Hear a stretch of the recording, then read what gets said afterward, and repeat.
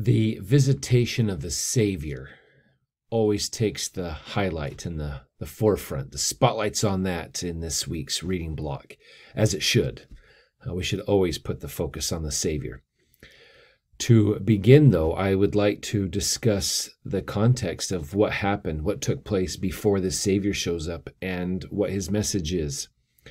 So, uh, this week's Come Follow Me reading is 3rd Nephi, uh, chapters 8 through 11. So, if we can take a look at a few things here, go to chapter 8, please. Uh, verse 1, we know that Nephi is the record keeper. Let me show you a couple things of how we know that and what's going on here. It says in uh, chapter 8, verse 1, we know our record to be true, for behold, it was a just man who did keep the record. Well, if you click on the word just, the reference goes to 3 Nephi 27. Now, in 3 Nephi 27, it says, And it came to pass that he said unto Nephi, Bring forth the record which ye have kept. Now, here, even though this happens later in that visit, we learn a few interesting things about the Savior and his uh, belief with records. They're important. He reviews the records and he notices in, again, this is 3 Nephi 23, that the record of Samuel the Lamanite isn't complete in there. He testified of the resurrection and so forth. And in verse 11, he said, uh, the, Savior says, How be it that ye have not written the thing that many saints did arise and appear unto many and did minister unto them? And verse 12, Nephi remembered that this thing had not been written. So the Savior says, Okay, read or, or add this to the record. Verse 14, Now it came to pass that when Jesus had expounded all the scriptures in one, which they had written, he commanded them that they should teach the things which he had expounded unto them. So Jesus gathers this record and then has, has them add to it things that are missing, and then he expounds on that record. I think it's just kind of a beautiful thing about our records and so forth. So let's go back to chapter 8 now. Third Nephi chapter 8. We know it's Nephi who's keeping this record. And verse 2 tells us it's 30 and 3 years have passed away, and it's in the first month of, of year 34 that, that's in verse 5, that the storm hits. Because people in verse 2 are looking forward to the signs, but there's still doubtings and disputations. That's verse 4. But verse 5, the storm comes. And this is not only the storm of the century, but this is the storm of not even the millennia, but maybe of Earth's record, maybe until it's about to hit us again, possibly, right? Because remember, last week we talked about that everything that's taking place in the Book of Mormon before the coming of the Savior will be a type of what will take place at the end. So let's just take a look at a couple things with this storm and what takes place. In verse 6, the earth shook. Verse 12 tells us the whole land changes, including whirlwinds. In fact, verse 16 tells us these whirlwinds carry people away and they never hear of them again, never see them again. Uh, what's a whirlwind? I'm not sure. Is it a hurricane? Is it a tornado? Maybe both. Uh, these, this is a big storm. Verse 14, we hear that cities were sunk burned, buried, and he specifically mentions a few by name. Let's take a look at some of these. Now, as you can see here, there's cities that are burned, cities that are sunk, and cities that are buried. And he mentions these three by name Zarahemla, Moroni, and Moronihah. Uh, for whatever reason, he emphasizes those more than once. But we also learn that there's a whole list here. So I'm just going to put this list up and you can take a look at it as you go through your your, your scripture block, you can see that these cities are mentioned by name and what the Lord has happened to them. And he tells us why, too. So, uh, again, in chapter 8, verse 21, there's no light. That's the sign. Remember, the sign of the birth, the Savior coming into the world, is light. But when he is crucified and he leaves the world, the sign is darkness. Verse 23 tells us that in America, It was three days worth of darkness. Now, in the New Testament, in Jerusalem, that area, it was three hours of darkness before the night came. But here it's three days. So let's go to chapter 9. In chapter 9, there is the uh, in verse 2 woe woe woe i want to make sure we understand what the word woe means it's an expression of grief pain sorrow misery and in the scriptures it uses it woe and sometimes it says woe woe but in the few instances there's the triple woe and here it's given right here that woe woe woe unto this people woe unto the inhabitants of the earth except they shall be except they shall repent right what's going to happen well cities will be burned, sunk, or buried. Or maybe a, a combination, or maybe multiple other events as well. I, I just find it interesting. This is a screenshot of the United States today. Uh, each little circle represents a wildfire that is a wildfire that is currently burning. Uh, pretty remarkable. It makes it look like the whole West is on fire and maybe rightfully so there are a lot and every year there's a lot of wildfires but it'll be interesting to see how many cities are burned by fire uh, here is a screenshot this morning of the atlantic ocean. You'll notice just currently there's three named storms. So i don't know. It's pretty impressive of what's going to happen. But more importantly is the savior's message isn't about destruction. I really find it's about mercy, which as I, just you have to pay attention to this because if you read and read and read, and just by the sheer number of verses, you'll see nothing but destruction. But if you'll go to chapter 9, verse 14, I just want to read this one verse. Well, the verse before repent of your sins and be converted, that I may heal you. Yea, verily I say unto you, if you will come unto me ye shall have eternal life. Behold, mine arm of mercy is extended towards you. His whole message here isn't about destruction, it's about follow my warnings, and I will give mercy unto you. I will heal you. I will protect you. Now, at this time, the voice of the Lord is sharing this to all of the people, all of the inhabitants, and he tells them in verse 19 that the, the this is the end of blood sacrifice. His blood was the last blood to be shed for sacrifice. But verse 20 tells us what we should sacrifice a broken heart and a contrite spirit. If you do that, notice what it says in verse 20 I will baptize with fire and with the Holy Ghost. So we just saw a list of cities burned by fire. But he says if you get baptized, again, water coming over you, buried with water, then fire will come upon you.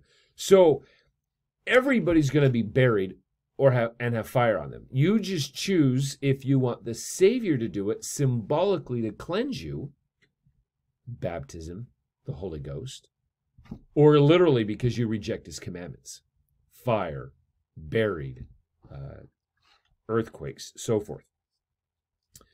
Well, let's go to chapter 10 and verse 1. Behold, it came to pass that the people of the land did hear these sayings and did witness of it.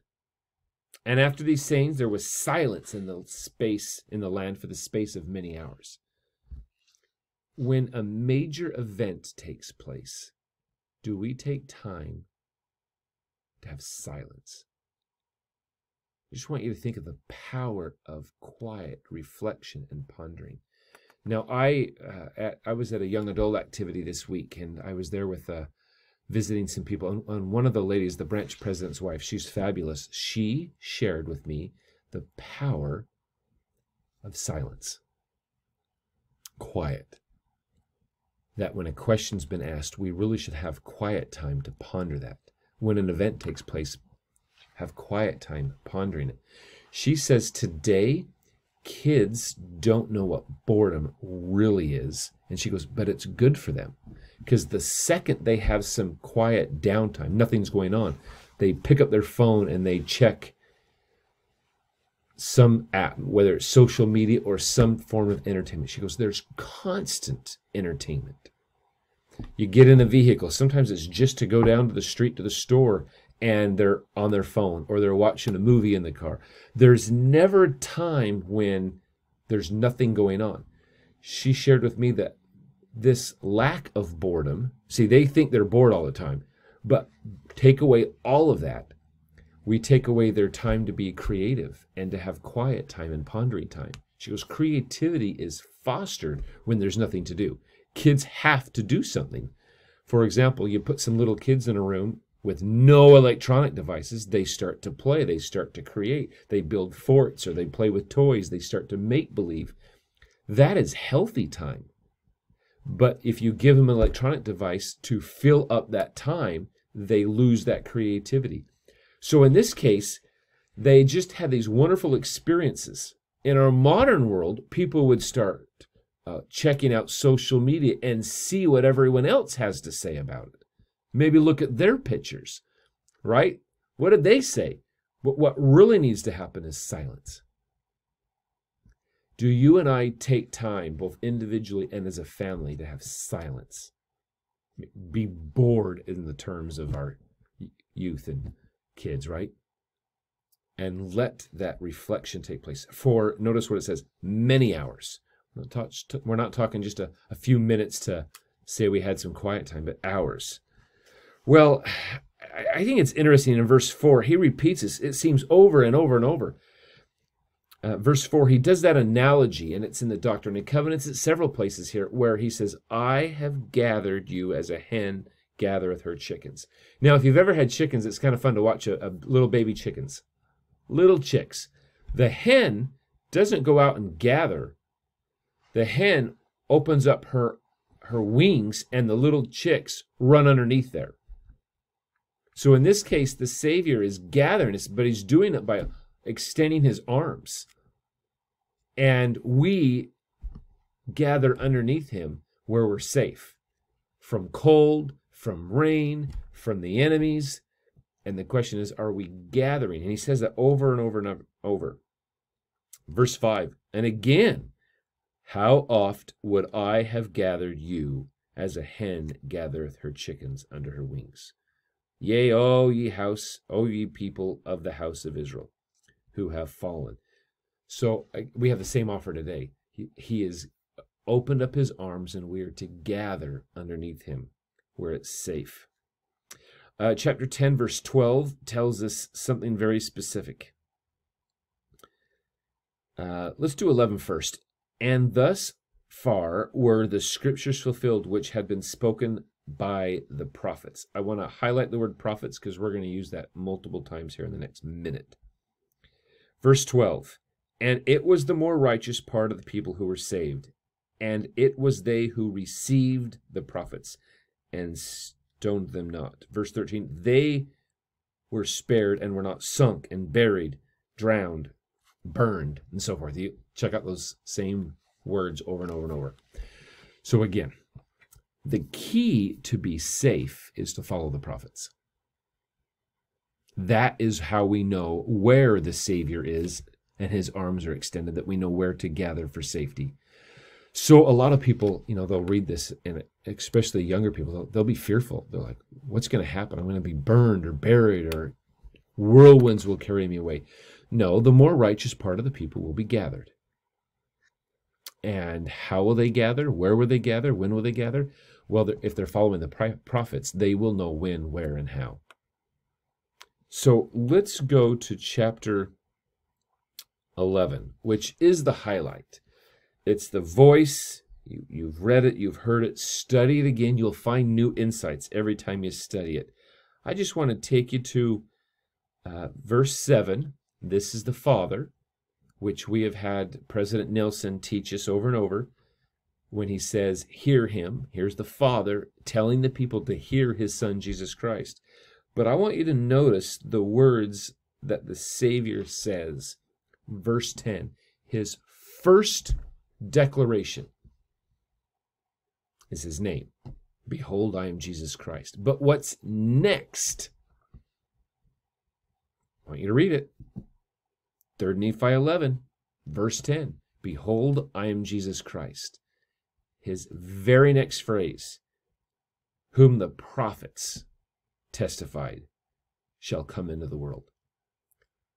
The Savior's first announcement after declaring his name, his introduction, is he's validating his prophets, whom have been stoned and, and burned and killed and taken away.